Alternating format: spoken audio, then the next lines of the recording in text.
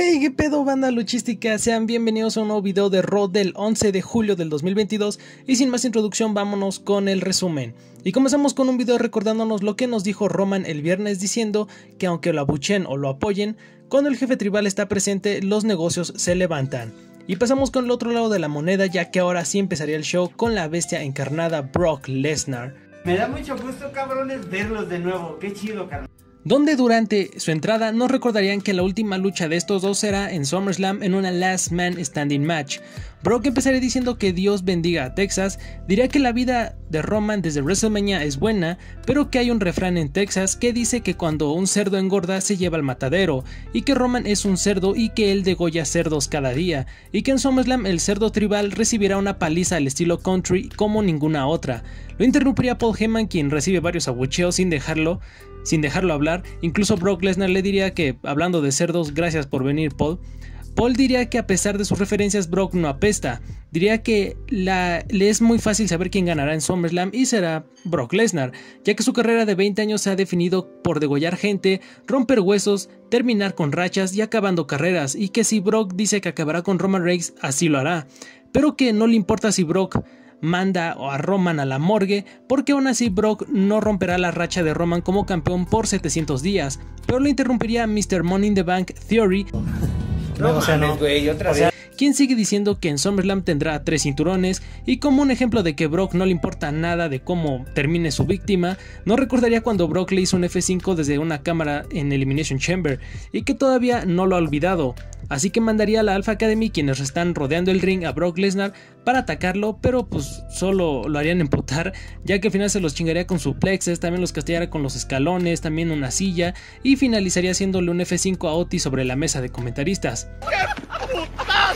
Pero antes de continuar, si te está gustando el resumen, suscríbete y dale like al video. También si quieres apoyarnos más, puedes unirte al canal para ser un miembro donde podrás tener insignias, emojis exclusivos y agradecimientos en los videos, todo solo por 10 pesos y próximamente tendremos más beneficios. Pero por ahora continuemos con el show. Vamos ahora sí con la acción Finn Balor contra Rey Misterio, pero primero hablaría el día del juicio. Demian diría que en dos semanas Rey Misterio celebrará sus 20 años en WWE desde el Madison Square Garden cuando se agarró, y que mejor que se vaya para que Dominic se les una al día del juicio, que deje de ser su sombra, que abra su propio camino y se levante. Finn le diría a Dominic que se deshaga de ese peso muerto como ellos lo hicieron con Edge, pero los misterios mejor los atacarían. Y ahora sí empezamos los putazos con Rey Misterio contra Finn Balor, donde por segunda semana consecutiva peleó Finn Balor con pantalones. Empezaría Rey Misterio con varias patadas para sacar a Finn, donde le haría una plancha cruzada, pero de regreso al ring Finn le empezaría a lastimar la espalda con golpes y una quebradora. También trataría de hacer el tres amigos, pero mejor se detendría para castigarlo en el esquinero, bajándolo a la fuerza, lastimándole la pierna izquierda aunque se distraería con Dominic, lo cual aprovecha Rey para hacerle un sunset flip contra la barricada. También haciéndole una hurracarrana desde el esquinero, también le haría el Season 9 pero fallaría su plancha. Ya para terminar, Finn seguiría castigando a Rey lastimándole la espalda para ahora sí rematarlo con el Cup de Grace para llevarse la victoria. Después del combate, Dominic intercambiaría miradas con Finn y Demian. Entraría Becky Lynch, quien se une a la mesa de comentaristas, pero primero diría que en Money in the Bank perdió por un momento la cabeza, pero que se dio cuenta de que no necesita un maletín para ser campeona, y se pondría de basada diciendo que no tiene sentido que Carmela tenga hoy una oportunidad por el título, ya que perdió en Money in the Bank, pero que eso no importa ahorita, que lo que quiere es una lucha por el título en SummerSlam. Así que seguimos con esta lucha, pues, no sé por qué, pero por el campeonato femenino de Raw, Bianca Belair contra Carmela. Empezaría Bianca dominando a Carmela incluso sacándola del ring para encarar por un momento a Becky Lynch. Regresando a los comerciales, Carmela empezaría a contestar castigando la espalda de Bianca, también lastimándola con las cuerdas para después hacerle una plancha, trataría de hacer otra, pero Bianca la atraparía para hacerle un suplex de bandera. Contestaría con lazos y un facebuster, aunque fallaría un moonsault, donde Carmela le daría una patada donde casi gana. También revertiría el Kiss of Death a un rompecaras, pero igual Bianca se salvaría. Seguirían bastante parejas durante un buen rato donde se van al ringside, donde Carmela le picaría los ojos a Bianca Belair, pero aún así mandaría a Carmela al poste. Pero Becky aquí se metería para distraer a Bianca Belair para que perdiera por conteo fuera del ring y aunque Carmela estaba celebrando con el título como tendría que ser porque ganó, pues Bianca se lo quitaría con el, un Kiss of Death para pues celebrar o yo qué sé, pero pues bueno, para los que no sepan hay una regla pues, que dice que aunque pierda la campeona por conteo fuera de 10, pues así no lo puede perder. Sí, una regla bastante, bastante estúpida. Nos mostrarían de nuevo la promo con pinta tétrica de Edge o de quien verga sea.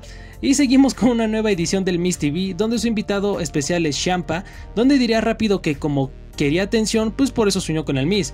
Aunque el Miss le valdría verga a Champa ya que se pondría a hablar de Logan Paul diciendo que creó una superestrella de WWE, le dio su momento en WrestleMania derrotando a Rey y a Dominic, todo para que no le diera las gracias y le daría una última oportunidad para que sean equipo y campeones.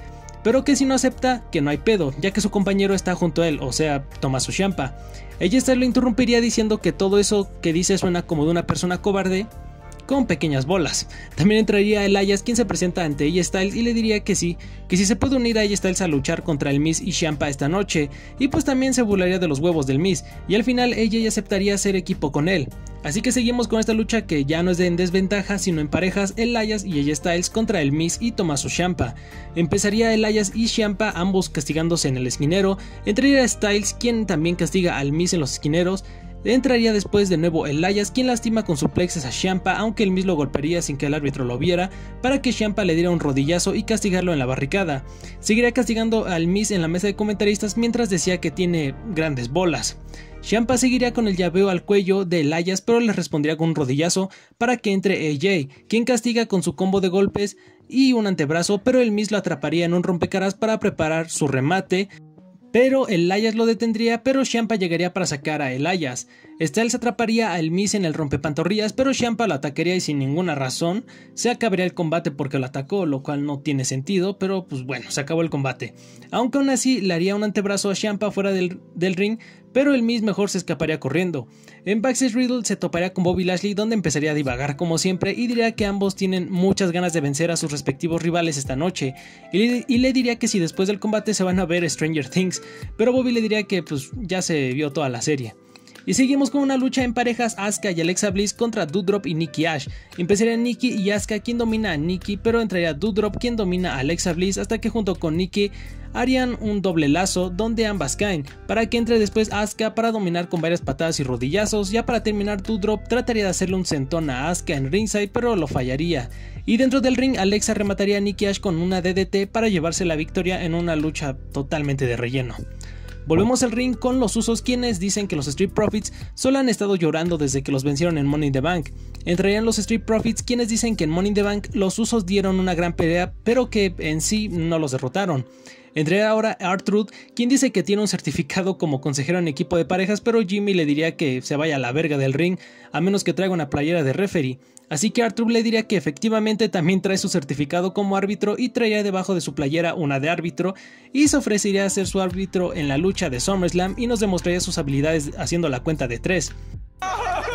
¡Qué divertido es ese hijo de perra! Pero los usos dirían que ya estaban hasta la verga y le dirían que ya se saque su payaso trasero del ring, lo cual eso hace enojar a Artrude. Ahora lo interrumpiría Homos, donde MVP lo propone como árbitro para esa lucha y como nuevo miembro del linaje. Sí, aquí se mamó mucho. Pero Artrude quería putazos y que todos atacarían, pero al final Homos y los usos los dominarían fácilmente. Y pues nos vamos con esta lucha donde ahora sería un 3 contra 3, los Usos y Homos contra los Street Profits y Artrude. Empezarían los Usos y Homos castigando a Artrude con relevos cortos durante un rato hasta que los Profits entran para castigarlos con unas patadas, para después entre los tres tumbar a Homos. Todos volarían haciendo unas planchas pero Homos atraparía a Artrude quien lo castiga en el filo del ring y con un lazo en ringside. Regresando a los comerciales seguirían castigando brutalmente a Truth hasta que Truth conectaría una patada a Jay para que entre Montesford quien se mete con una plancha y varias patadas a los usos para después querer volar por las cuerdas pero Homos lo detendría pero ni le serviría ya que los profits lo mandarían a que se comiera el poste para después hacerle un super codazo a Jay pero Jimmy detendría la cuenta. Arthur trataría de hacer el You Can See Me de su héroe John Cena, pero Homos lo detendría y lo mandaría a los escalones. Ya para terminar, Angelo remataría a Jey Uso con un rompespinas, pero no vería que le dio el relevo a Homos, quien llega por la espalda para hacerle una doble garra para llevarse la victoria. Entrevistarían en backstage a Seth Rollins donde diría que Riddle es un simple tonto que trata de imitar a Randy Orton, que solo quiere usar el legado de Orton para llegar a la cima, pero le interrumpiría a su compañero de esta noche, Theory, para pedirle consejos de cómo canjear su maletín, y Rollins le diría que vino con la persona correcta. Veríamos de nuevo la promo tétrica donde ahora sí podríamos confirmar que es Edge, ya que apareció una playera de Randy Orton, la gorra de John Cena y una playera de la leyenda Mick Foley. Nos anunciarían que la siguiente semana Logan Paul estará en Monday Night Raw. Pero cabrón, no te cansas de estar chingando. No, no, no, tranquilo. Y ahora sí nos vamos con el pinche perro main event de la noche. Luchan parejas Riddle y Bobby Lashley contra Seth Rollins y Theory. Empezarían Theory y Rollins castigando con relevos cortos a Riddle hasta que Riddle se empieza a recuperar haciendo unos suplexes para darle el relevo a Bobby, quien empieza a castigar a Theory brutalmente y también a Rollins, aunque esquivaría un suplex de bandera. Rollins trataría de hacer un tope suicida, pero Bobby lo atraparía para castigarlo en el poste y aquí por alguna extraña razón entraría Dolph Ziggler quien se pondría a ver más de cerca el combate. No sé qué sucede aquí, pero creo que me gusta. Regresando de los comerciales los papeles cambiarían ya que Rollins le haría un suplex inverso a Riddle desde el esquinero, entraría Theory para hacer su clásica patada, pero este Riddle lo atraparía en un candado al cuello.